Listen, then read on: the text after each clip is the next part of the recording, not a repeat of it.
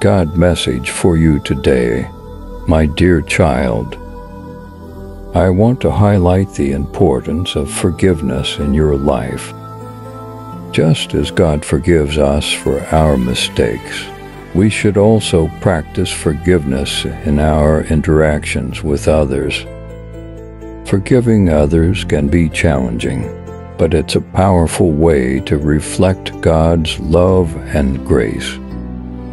Remember the Lord's Prayer, which includes the line, Forgive us our debts, as we also have forgiven our debtors Matthew 6:12. Click subscribe button and get blessed today. Set aside time for daily prayer and reflection. It's in these moments of quiet communion with God that you can share your joys, worries, and questions. God is always ready to listen, and prayer is a way to strengthen your connection with Him. Continue to explore the teachings of Jesus and the Bible.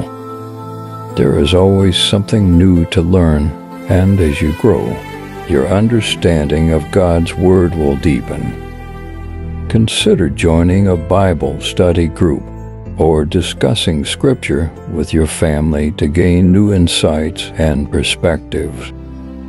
Remember that your identity is rooted in Christ. Galatians 2:20 says, I have been crucified with Christ, and I no longer live, but Christ lives in me.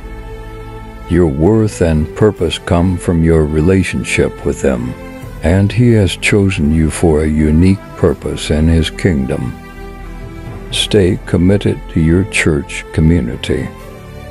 It's a place where you can worship, learn, and grow with fellow believers.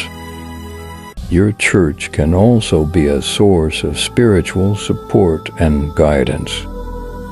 In times of adversity, cling to Romans 8:38 39 for I am convinced that neither death nor life, neither angels nor demons, neither the present nor the future, nor any powers, neither height nor depth, nor anything else in all creation, will be able to separate us from the love of God that is in Christ Jesus our Lord. This verse assures us that God's love is unwavering and unbreakable even in the face of challenges. Lastly, be patient with yourself as you navigate life's ups and downs. God's love is a constant, and He will always be there to guide you through every season of life. May your faith continue to grow and bring you closer to God's infinite love and grace. Amen type man in the comment section and like share this message. If you truly believe in God,